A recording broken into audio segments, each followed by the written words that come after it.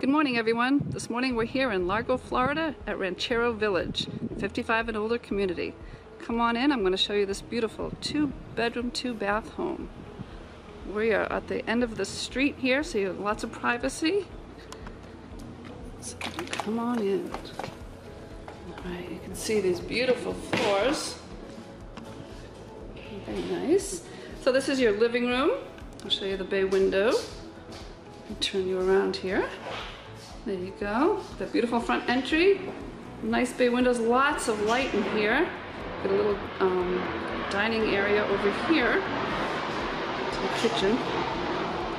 And a plane going overhead. Probably heading to Tampa. All right, so here is your little dinette area with some storage and a little breakfast bar that leads out to the uh, little shed outside. and show you that out here. Little shed outside there. Close the door, it's getting a little humid again. All right, so here we are in the kitchen. You can see there's a dishwasher, there's a four burner stove, there's a microwave and a refrigerator, as well as a double stainless steel sink over the window.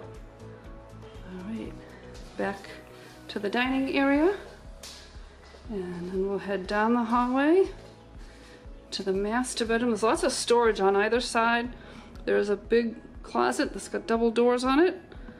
Again, your master bedroom with your ensuite bathroom, complete with a sink, a toilet, obviously, and a shower. Okay, and then we have one more room. So there's storage in here.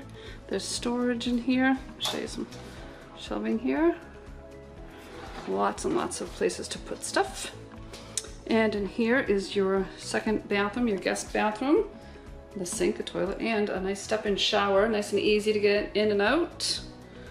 And the second bedroom. Again, lots of storage, lots of closet space, lots of room. You can make this, put a day bed in here. You can just put a couch, you can make it your office. Lots of options. So one more time, I'm just gonna show you. Down the hallway, to the right is the kitchen, your dining room, and your living room. So come on down, give me a call. We'll show you this beautiful home. It is in the dog section park at Ranchero Village. Come on down.